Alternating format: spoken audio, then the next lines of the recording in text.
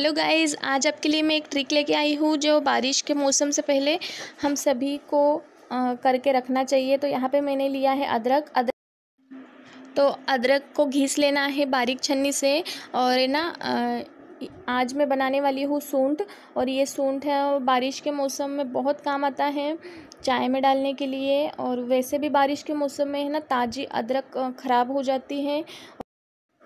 तो अदरक को घिस लेना है और दो तीन ट्रिक होती है, पर मुझे ये वाली ट्रिक बहुत अच्छी लगती है, क्योंकि अदरक के जो मार्केट में सूंठ आता है ना, वो गठिया वाला तो उसको तोड़ने में बहुत मुश्किल होती है, इसलिए इस तरह से हम अदरक का घीस कर लेंगे।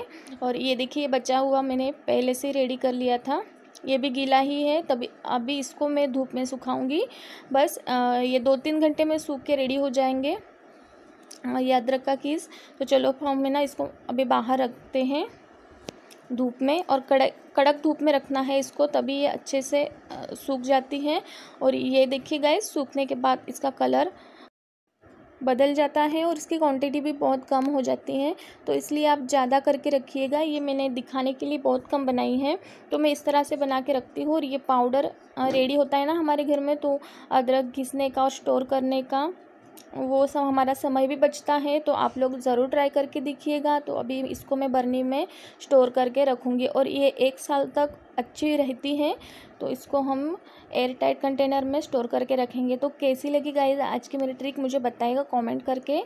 तो चलो फिर मिलते हैं नेक्स्ट ब्लॉग के साथ में।